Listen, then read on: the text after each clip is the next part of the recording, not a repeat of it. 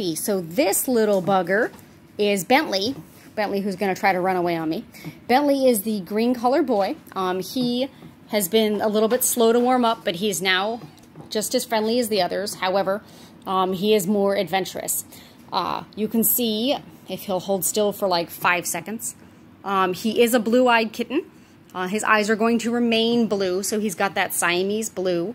Come on, look at me. Oh, there we go. His dirty nose from his breakfast.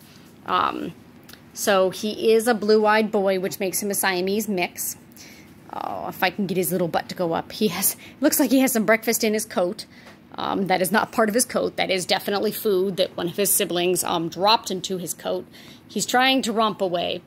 Um, so he's going to need a little bit of extra lovin's, um, some extra snuggling and cuddling uh, when he goes off to his home because he's still a little bit shy around people, but he's not going to be ready to go for almost two weeks. So, you know, um, he'll have plenty of extra snuggle time. Um, he will do best in a home with another cat. Um, he cannot go with one of his own litter because they are so shy and timid. Um, they're just not going to be happy. They need another dominant, um, confident kitty in the home uh, to go to. No small children because they're too small, too young. Um, let me see here. What have we got on these toes? Look at all of those extra toes that he has. Look at those extra toes. Um, he doesn't have quite as many as his little brother Ford, but he still has plenty of toes to go around. His beautiful little tail. Oh my gosh, he says, I'm going to escape. No, there's no escaping. You're on camera. That's just how it is.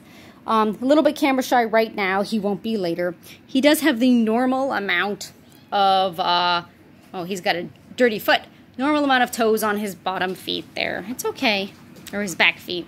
Um, he does have lots of nice toes. He's got the extra two, so he's got seven on his front feet. Um, I know he's not very happy right now. He wants to go back into his crate. Um, but he's good with big dogs. He's learning all about them, and definitely good with cats. Needs to go to a home with another cat. You're okay. There we go. That's better.